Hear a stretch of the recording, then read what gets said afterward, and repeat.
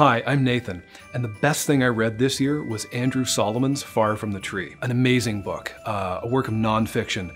Solomon interviews hundreds and hundreds of families studying uh, the relationships between parents and children. Children are often born to a horizontal identity. That is, they, they enter a culture that's not the culture that their parents gave them. Uh, deaf kids born to hearing parents, uh, gay kids born to straight parents. All of those uh, things that make it hard for, for generations to understand one another. And what I learned in reading it is that as hard as it can be to love, it's not about being loved in return. It's about changing yourself and opening your heart uh, to be able to love and become better through that.